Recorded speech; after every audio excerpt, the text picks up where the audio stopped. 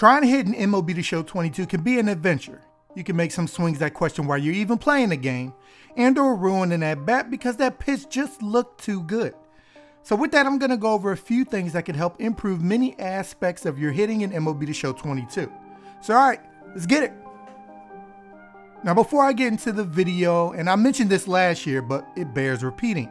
Throughout the year, you're gonna have to come to terms with the fact that the game doesn't really like you like that. No matter how far you hit the ball, how high your exit velocity is, you're never gonna get a hit or home run 100% of the time.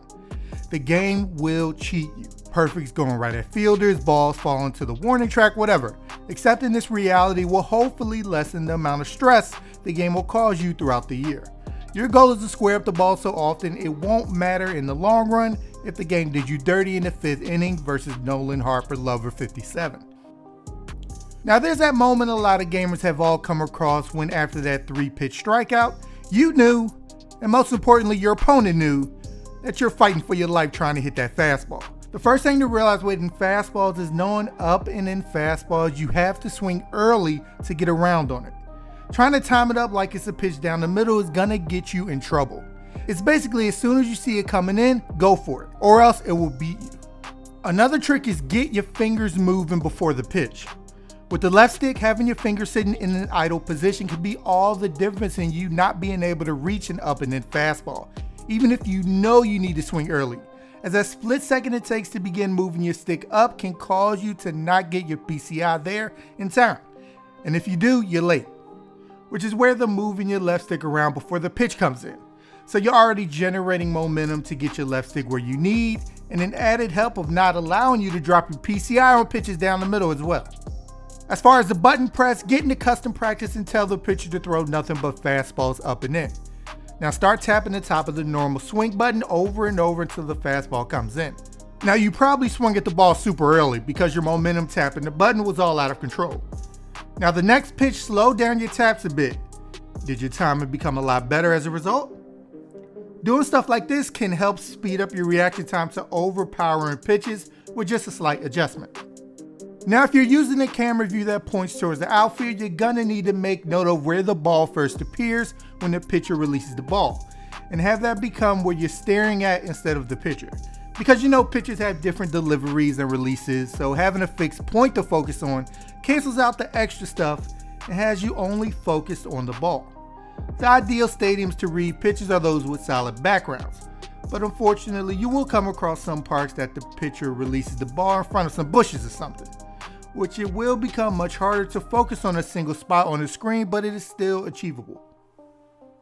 Now, if you also find yourself struggling at the plate, one of the easiest adjustments you can make is simply adjusting your camera view to find something that you feel the most comfortable with. The strike zone cameras are extremely popular because of how close you are to the pitcher, which lets you tell balls from strikes a lot easier. Not everybody likes playing on this. Maybe the ball comes in too fast now, or they want to see the batter. So I encourage you to not be afraid of changing your camera view as each one has its pros and cons and lets you see things a lot different. So if you're struggling with hitting, try altering your camera view right now. Now last year, MLB The Show introduced the ability for gamers to practice against specific pitches and locations in custom practice. And this addition was big. This lets you address any specific weakness you may have at the plate. Both years I've always practiced being able to hit the ball right down the middle first and work from there. Because if I can't even do that, you know, do you have a certain pitch you're hitting one for a 100 against? Well, you can set it up here and practice nothing but batting against that certain pitch in a specific location. So you can start to build that memory on how it moves to increase your pitch recognition. And once you feel comfortable with it, add in another pitch in that same location that has a wildly different speed to put your pitch recognition to the test. Then add in more and more different locations and pitches to simulate playing against an actual human opponent. Don't be afraid to get in custom practice as it can definitely help you make the necessary adjustments to hit or lay off certain pitches you may struggle with. Now, new to MLB The Show 22 is something called the PCI Anchor System which lets you cheat your PCI in one of nine different directions at the plate. When enabled, if you click in the left stick before the pitcher starts his windup and move it to your desired location, once you let go of the left stick, it will lock in your placement and have it cheated in whatever direction you want. This can help you get the jump on players who like to pepper certain areas of the zone often without holding your PCI there with your finger. Now something else that can get exploited if your opponent notices that you can't do it is you must be able to take pitches the opposite way. Which basically means, and this is a common problem when you're first starting the game, is to not try and pull everything and respect the fact that your timing is going to be different depending on where the pitch is thrown, even if it's the same exact pitch. On an inside pitch, you're going to want to swing early. On something down the middle, you're want to swing um, normal. And anything on the outside part, you're want to wait the longest. And all three pitch locations can get you a good or perfect contact. Now the game does reward guys for early swings on outside pitches that land for hits, but you don't want to rely on that.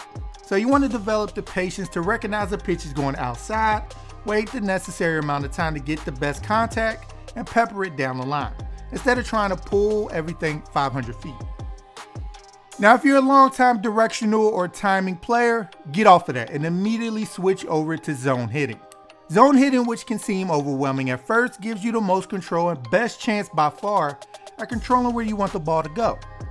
With zone hitting, you're given a PCI, which stands for plate coverage indicator, which is the little thing right here, and the goal is to match it with wherever the ball ends up landing at in the strike zone. And from there, there's three levels to the PCI, the center, inner, and outer levels that you can turn on and off each level and also change the color of it. Where me personally, I like to use any color but white. And you can even customize what levels of the PCI you want to disappear as the picture starts his windup. There's a magic setup to this so you can customize this to your liking anytime, even during the game, even during an at-bat where you pause five times to try five different setups. What? And lastly, now the building block to winning and having successful at-bats is being patient and not swing at every pitch that you see. That type of style can work against you very quickly and your opponent will start to just throw you junk so you can get yourself out. Then his pitches will gain confidence, you'll get mad, throw a controller and quit. That's not a good time. You want to force your opponent to have to throw something over the plate because they're not going to do it out of the goodness of their heart. So maybe looking for something only high in the zone in the beginning of that bat, for example, can get the pitch count higher and get you a pitch that you can hit. Even when you think you 100% have to swing, let's say a 0-2 count, you really don't. Your opponent is probably not going to give you something to lift really far. This is when you start to see that trusty curve in the dirt, slider away, fastball thrown to the moon, just to test your ability to not panic and swing at anything. We all have had that moment pitching when you realize your opponent will not chase anything on two strikes. It's not a good time, right?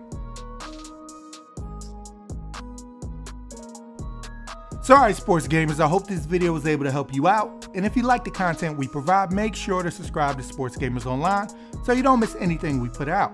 And stay tuned here for more MLB The Show 22 tip videos.